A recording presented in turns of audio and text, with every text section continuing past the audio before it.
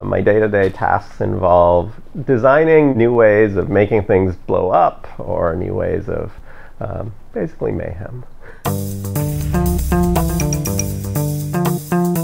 I'm a principal engineer at DreamWorks Animation.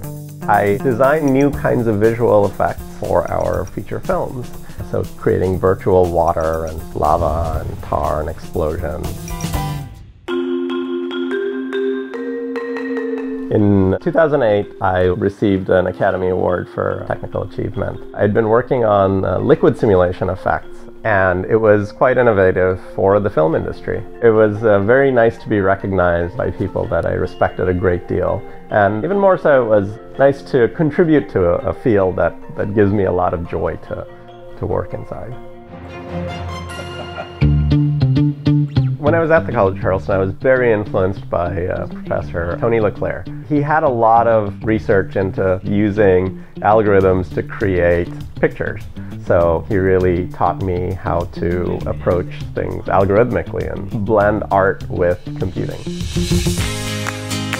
The group of students that ended up in computer science at the college had a real love for it. And there was a lot of mixing between the seniors as well as the freshmen, and so it was a very nice, tight-knit community.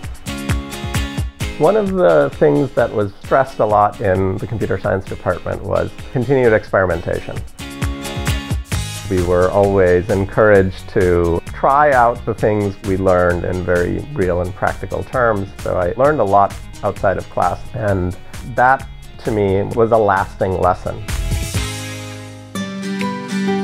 Right after college, I sort of just worked as a programmer, trying to find the niche that would draw me in. And it took me about uh, two and a half years, but I eventually found my way into the visual effects industry.